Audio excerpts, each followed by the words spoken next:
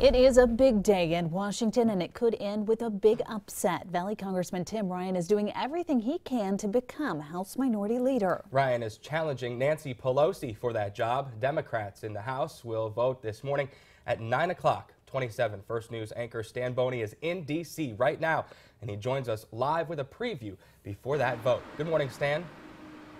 Well, I am standing right across the street from the U.S. Capitol. It is a rainy Wednesday morning here in Washington, D.C. as well. You can see, shrouded amongst the trees, the dome of the Capitol right behind me on what is a wet Wednesday morning here in D.C. The reason I'm here is to cover the vote that will take place later on today to determine whether Youngstown area Congressman Tim Ryan or California Congresswoman Nancy Pelosi will end up being the House Minority Leader. Now, actually standing underneath the portico of what is the Longworth building right across the street from the Capitol. This is where the offices of Tim Ryan are located, up on the fourth floor. Also, if you go right in the entrance, turn left, and go around the bend there, you will run into the House Ways and Ways and Means Committee hearing room, and that is where the vote will be taking place later on today. The vote begins at 9 o'clock, and from what we've been told, it is expected to wrap up sometime around noon.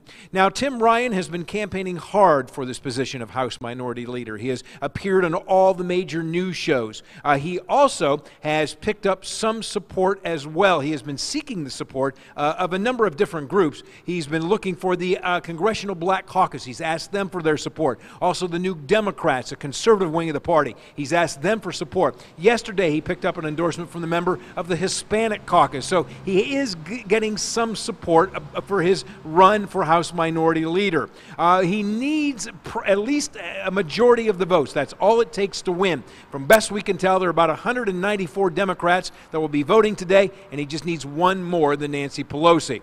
Now, not a lot of people talking about this, not a lot of people in Washington actually giving Tim Ryan a chance.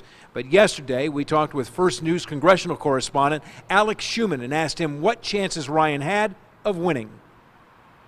There could be enough anger. She's been in charge in some form in the leadership in the House for more than a decade, and they have only been in control of the House for two of those terms. So this could definitely be the moment when they decide, let's try something new.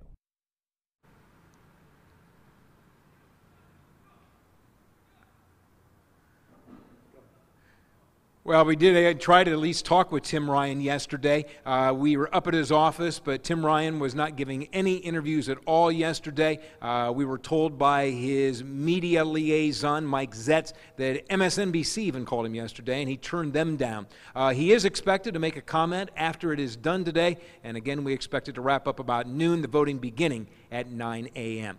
Live in Washington, D.C., Stan Boney, WKBN 27 First News.